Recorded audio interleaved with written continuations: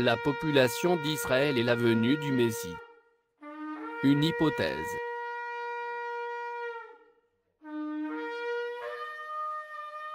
Hypothèse. Deux textes de la Torah prévoient que la population d'Israël s'élèvera à 20 millions d'habitants avant la prochaine venue du Messie.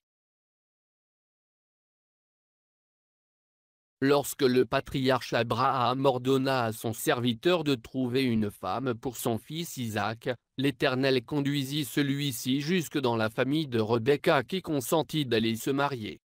Avant son départ, les membres de sa famille la bénirent.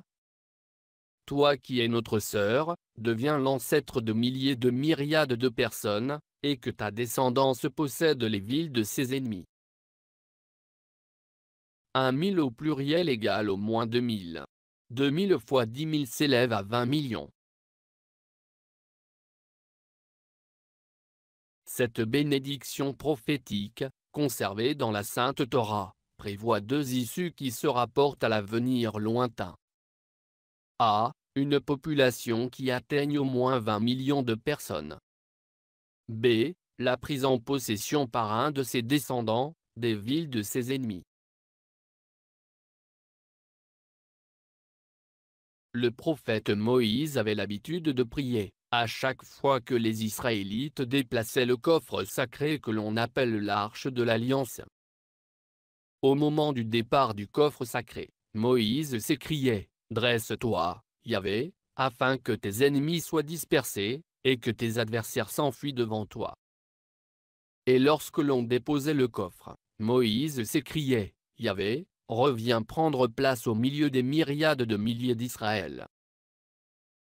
Dix mille au pluriel égale au moins vingt mille. Vingt mille fois mille s'élève à vingt millions. Cette prière prophétique, conservée dans la Sainte Torah, prévoit trois issues qui se rapportent à l'avenir lointain. A. La dispersion des adversaires de Yahvé. B. La venue de Yahvé, dans la personne du Messie. C. Une population d'au moins 20 millions de personnes. En raison de ce nombre élevé, des rabbins anciens voulaient y inclure les troupeaux de bétail cette notion loufoque ne semble plus à propos. En 1882, il y avait quelques 7,8 millions de juifs dans le monde, 16,6 millions en 1939, 11,5 millions en 1948, et 12,8 millions en 1980. Oui, l'Holocauste a coûté aussi cher aux juifs qu'aux autres. En 2015, il y en a environ 14,3 millions. En 1939, 449 000 juifs résidaient en Terre Sainte, et 650 000 en 1948 lors de la résurrection de l'État d'Israël. En 1980, 3,283 millions de juifs se trouvaient en Israël, soit 1 sur 4, 5 803 millions en 2010, et 6 219 millions en 2015, soit 43% des Juifs dans le monde. En 2015, il y a 8,1 millions de Juifs qui résident en dehors d'Israël.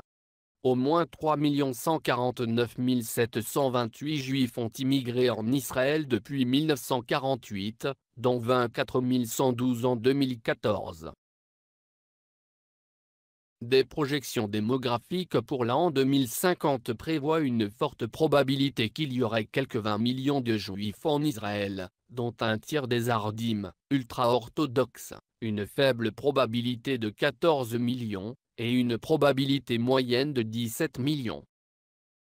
Toutefois, en fin de 2014, la population d'Israël ne se compose uniquement pas de juifs. Pour que la population d'Israël puisse atteindre ses 20 millions d'habitants bien avant l'an 2050, il se nécessiterait que certaines tendances s'amplifient, y compris les suivants. 1. Que grand nombre de Juifs dispersés en Outre-mer immigrent vers l'Israël. 2. Que les Juifs assimilés aux communautés non juives retournent à leur identité juive.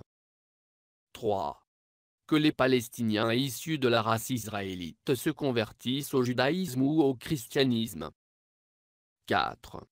Que l'État juif reconnaisse que les juifs dits messianiques sont de vrais juifs.